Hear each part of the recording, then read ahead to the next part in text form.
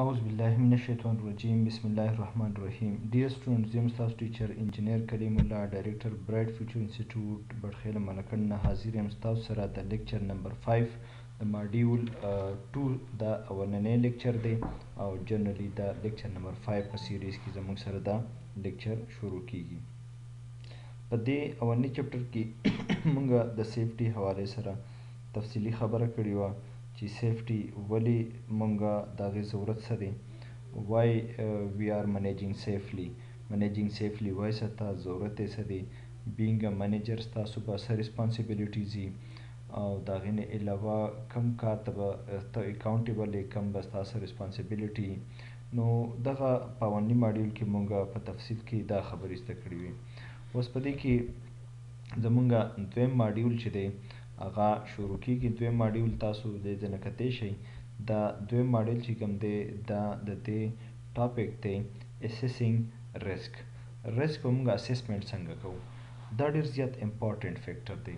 ځکه چې ریسک پیژندل ځان له یو خبره ده او د ریسک ته اپروچ کول دا ځان له خبره ده سونه پور چې یو ریسک داغي اسیسمنټ نه شي وي نو د هغه پوری مونږه ریسک نشو پیژندلې او چی رسک نی پیژندلی شوی نو مین چی سیفټی هغه په وجود کی نه راځی هغه سیفټی مونږ نشو معیر کولی نو ځکه دا ضروری ده چی مونږ کله هم یو سیفټی معیر کوو نو د هغی لپاره دا ضروری ده چی مونږ د هغی اسیسمنټ وکړو چی په دی کی رسک څونه دی او اسیسینګ رسک پلی او وایټل رول ان سیفټی سیفټي کې د ریسک اسیس کول او د دې جانچ پړتال کول دا ډیر زیات اهم کردار ادا کوي. اټ هیز پرایمري امپورټنس ان دي فیلډ اف سیفټي بل د اسیسنګ دي ریسک د دې په سیفټي کې یو پرایمري کردار دی یو بنیادي کردار دی مینځ چې مونږ دا بنیاد نه ایښودی نو مونږ په دې باندې یو چت بیلډنګ نشو جوړولی ځکه چې څونه پوري د رسک اسسمنټ نه شوی نو د هغه پوری مونږه سیفټی نشو میر کولی مونږه سیفټی چې دی هغه هغه امپلیمنټیشن نشو کولی نو دیو جبانی د رسک په خپل ځبانی ډیر زیات لوی امپورټنس دی ډیر لوی اهمیت دی د دې په دې ماډیول کې به مونږه سیز د کو واټ از رسک رسک څه شي دی واټ از ا رسک اسسمنټ رسک اسسمنټ څه ته ویل کیږي؟ اولنۍ خبره دا ده رسک څه ته وایي او رسک اسسمنټ څه ته وایي؟ یو رسک څه ته وایي دا ځانله کویسټن دی او رسک اسسمنټ څه ته وایي دا ځانله کویسټن دی ددې دواړو کویسټن جواب به موږ ته په دې چپټر کې په دې ماډیول کې میلاویږي او دریم نمبر کوم چې موږ اهم خبر په دې کې زده کوو په دې ماډیول کې نو هغه دا ده هاو آر رسک اسسمنټ کیریډ اوټ رسک اسسمنټ څنګه کیږي د هغې پر څه طریقه کار دی، د هغې پروسیجر څه دی، دا ټولې خبرې به مونږ ون بای ون ان شاء الله په دې ماډیول کې په تفصیل سره زده کوو.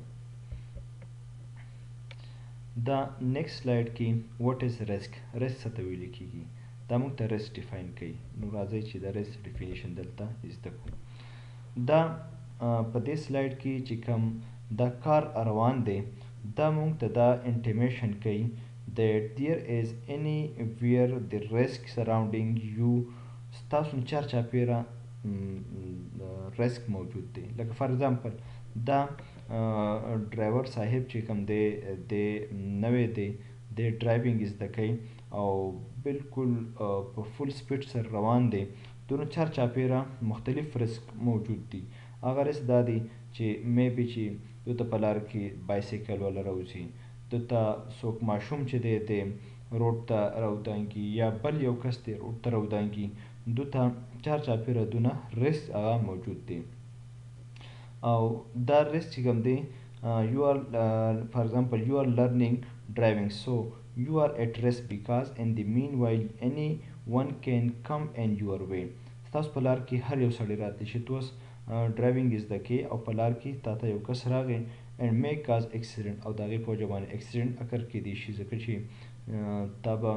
د بریک په ځای اکسیلیټر ته خپه وړی اکسیلیټر په ځای به بریک ونیسئ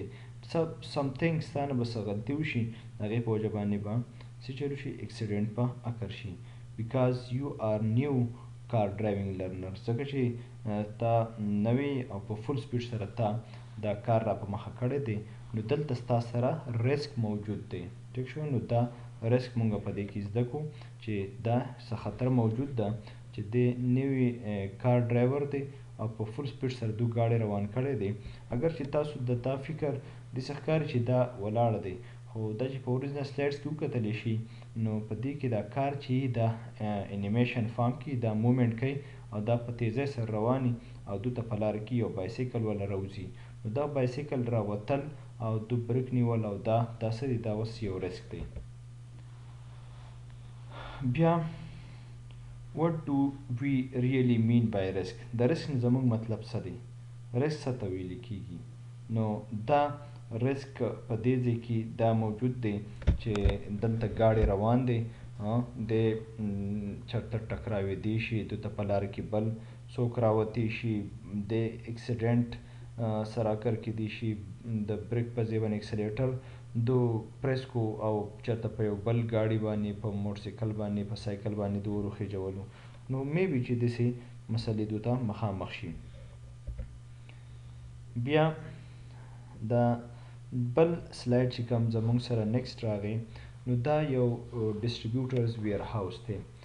ویر هاوس هغه ځای چې په کم ځای کې ډیر سه مالونه دا سټور کیږي او دا هغه ځای نه سپلای کیږي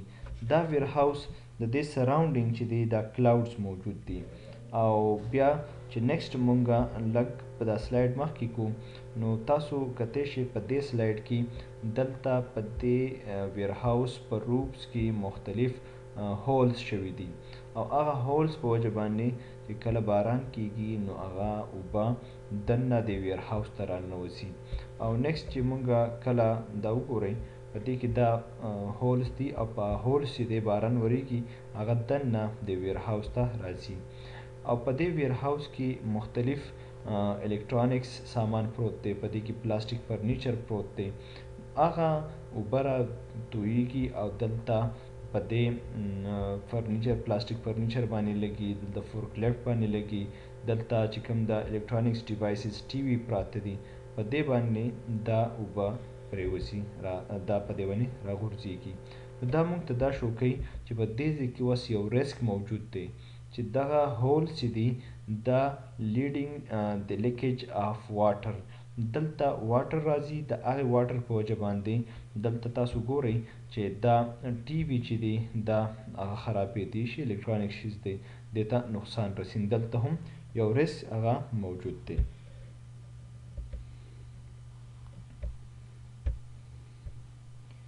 بیا To ensure safe work environment you need to understand the definition of risk اوس موږ دلته ریسک هغه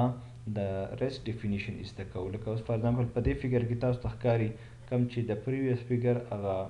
الاوبریشن دی د هغه ایکسپلینیشن دی نو هغه یې دلته نور مزید هم کړی دی چی دلته واټر ډراپ سره روان دی لیکیج کیږي بره چت نه او هغه په دی الیکټرانکس ډیوایس په ټی وی باندې راغورځیږي نو میبی چی د هغه سره دا ټی وی ګان چی کوم دی دا الیکټرانکس ډیوایسز دا فرنیچر دا ورسره خراب شي.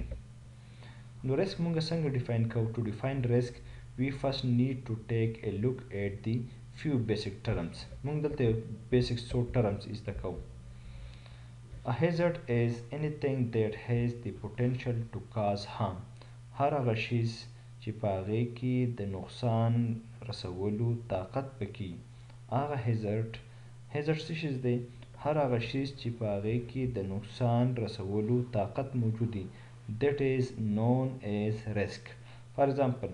دلته زموږ سره دا ماشین دی او دا ان بیرډ دی مین چې ان کورډ دی دی تاسو کورډ نشته دی د دې ماشین کې دلته چا لاس راتلی شي هغه ته نقصان رسیدي شي دا فار ایگزامپل هاټ واټر پراته دي د سر چا لاس لګي دي شي په چا راتوي دي شي په دې کې خطر موجود ده د خطرې قوت په دې کې موجود دی دا فار اګزامپل یو ځې را کنلې شوې دې نو په دې ځې کې خطره شته په دې کې په دې کنده کې هم خطره شته دې چې په دې باندې څوک را وغورځیږي هغه پوټنشل په کې د هام شته نو دې ته ویلې کیږي هیزرډ اني تینګ ویچ هیز دې پوټنشل ټو هام چې هغې کې د نقصان رسولو طاقت یې هر هغه شیز هغه که چړه ده نو په هغې کې هم د سیره کیدو د هغې کې طاقت شته دی فار ایگزامپل وور دی نو په هغې کې د سوځولو طاقت شته دی یعنی دغه پوټنشل پکې شته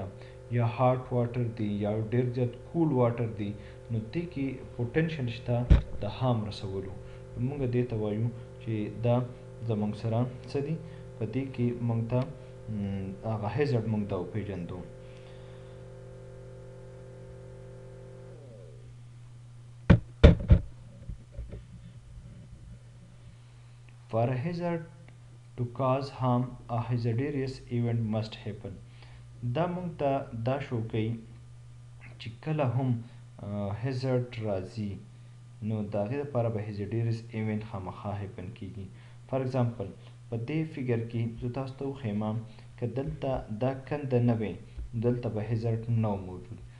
چی کنده موجوده ده دلته دا ډیګ موجود دی دا هول موجود دی نو په دی کی د دی خبری خطر شته چی په دی هول کی څوک را وغورځیږی او هغه ته هام ورسی نو موږ وایو چی په دی کنده کی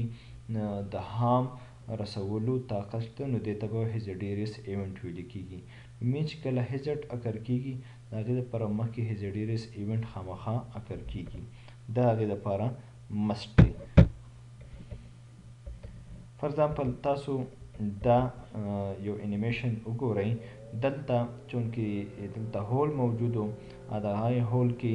د دې الګ خپون ختله او دا غا س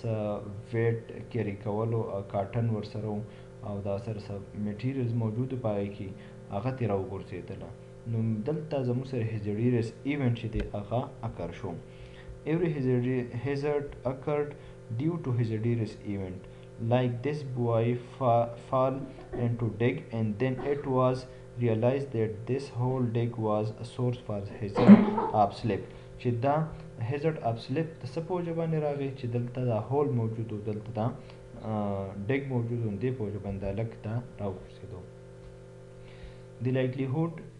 As the chance that the hazardious event will occur Likelihood څه ته ویل کېږي؟ امکان ته ویل کېږي چې هزارډ واقع کېدی شي نو دغه ته Likelihood ویل کېږي موږ وایو چې هزارډیریس ایونټ چې اکر کېږي دا به څه کېږي دا د دې د چانس اکر کېدو ته دې ته Likelihood ویل کېږي دلته اوس موږ وایو چې دا Likelihood چې دی